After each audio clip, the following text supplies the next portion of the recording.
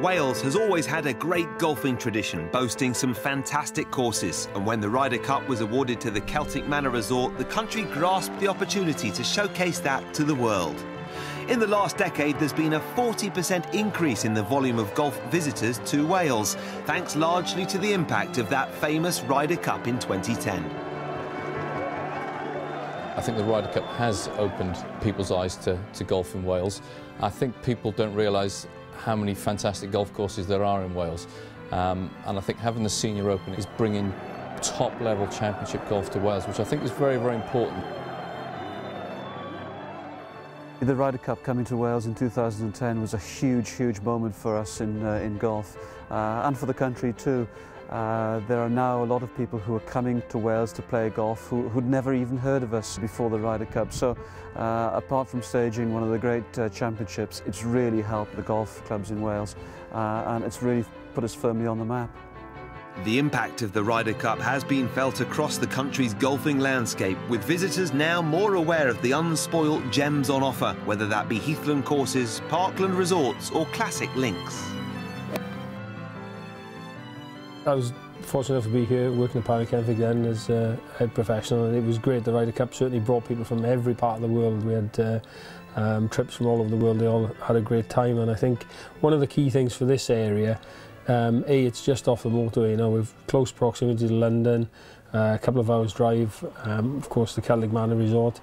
But, but while you're here, there's so much good golf to play and good accommodation. You know, you Cardiff just up the road, Swansea, uh, 20 minutes uh, west, and some, some great uh, courses such as the other qualifying venues such as Ashburnham, uh, Southern Down, uh, but you've got lovely links courses like Pennard as well and Tenby not too far away so it's easy to come and stay for four or five days and play five, six rounds of good quality links golf as well. Wales is indeed scattered with a great selection of courses from Royal St David's and Aberdyfi in the north to Royal Porthcawl and Southern Down in the south. Many of these clubs were founded over a century ago, but still pose a stiff but enjoyable test for all levels of player.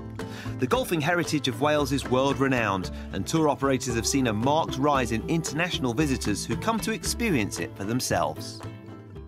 We do get a lot of people from overseas now. I think uh, certainly since the Ryder Cup, the club's been um, a lot more on the map.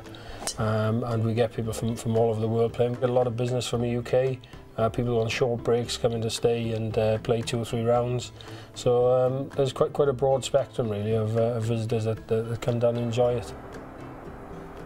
We're very, very proud of, of visitors that come from all over the world. And I think Golf Digest, which is one of the biggest golf magazines in the world, has, has ranked the club very, very highly above probably four current open venues. So I think the reputation and image of Porthcawl is extremely strong. In July 2014, Royal Porthcawl will host Wales's first major, staging three days of top draw competition and featuring some of the biggest names in the game.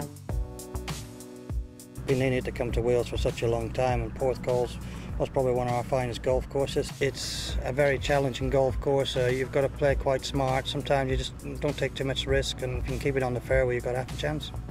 I'm coming every year to play the Welsh Open uh, in Celtic Manor there, and uh, enjoy myself around there. Yeah, and uh, I will be. I hope I can enjoy myself also around here in uh, Royal Porthcawl. I hear it's a great golf course and it's a nice venue, and then uh, I just uh, well, I'm looking forward to be there and, uh, and enjoy the links.